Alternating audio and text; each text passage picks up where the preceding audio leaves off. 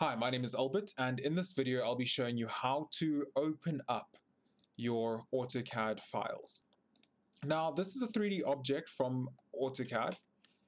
If you just hit open, I'll just say yes to this.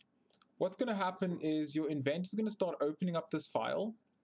I can see it loading here in the bottom left. And as it opens up this file, it's going to most likely open it up in the 2D environment because it recognizes that DWG file as a two-dimensional file, which it then ends up looking like this. It's actually been added into the layout environment over here. And in this case here, it's kind of incorrect for what we're looking for. We want that raw 3D data. So now to correct that, what we'll do here is we'll say open, and I'll open up render A, options, I'll set this to import and then OK.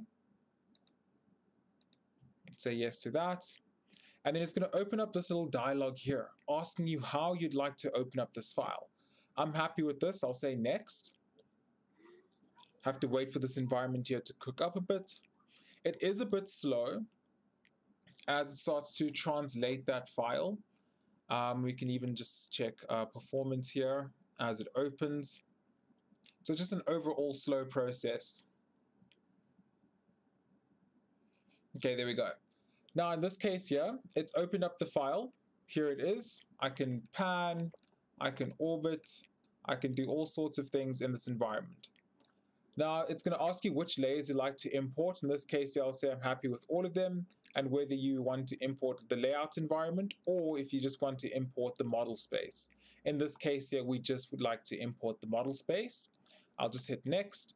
And then here it's got data options and here I'll just say 3D solids please check that on, and there's nothing else I'd like to change here. We can just hit finish. And if you could map that data if you wanted to as well.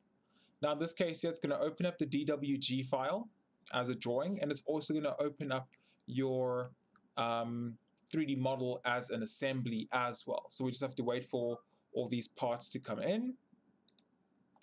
And then here it is.